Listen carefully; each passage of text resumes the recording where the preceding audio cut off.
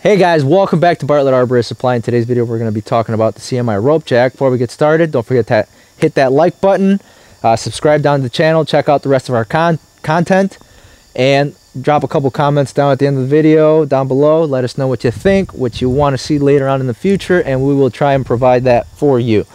So like I said, we're going to talk about the CMI rope jack. It is a mechanical advantage piece of kit for your rigging systems, setups, system, however you say it however you like to say it. Uh, it's a three to one.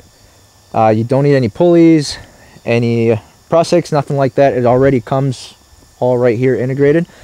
It is used to remove any slack or stretch. So in other words, you're pre-tensioning your system um, if you need to get that get rid of that stretch and you don't want it in there. Or it can also be used for tip tying just getting that leverage, lifting up a piece, but it is for light tip ties, not anything crazy heavy. Um, it is not recommended to pick heavy, heavy loads up. Uh, uh, so the CMI rope jack has cams where you can leave it in an open position so when you go to install, it's already ready for you.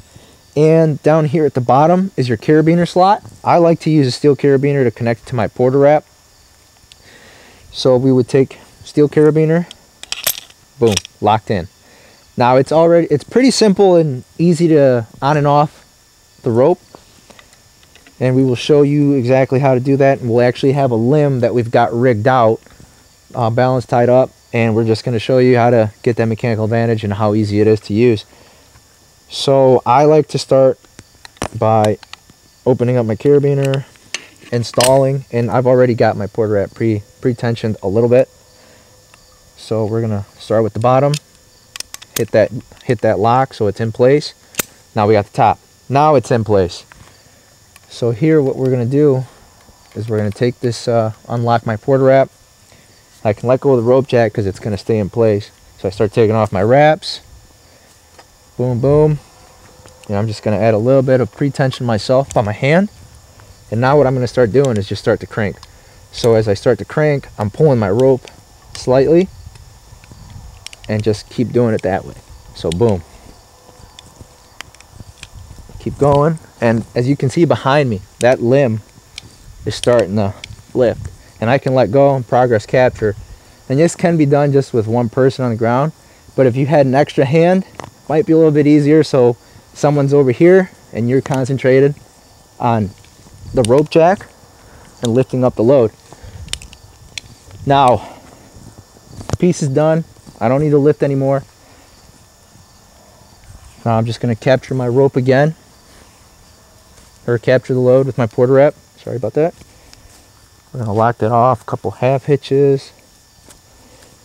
Now getting it off the rope may take a little bit of practice, but one of the things I like to do first is I pull down to introduce a little bit of slack here and it allows me to open. Now the second one should already have enough slack to where it opens up and you're able oh that open that closed on me but still easy to open up. Boom off the rope lock it so now like doesn't go anywhere.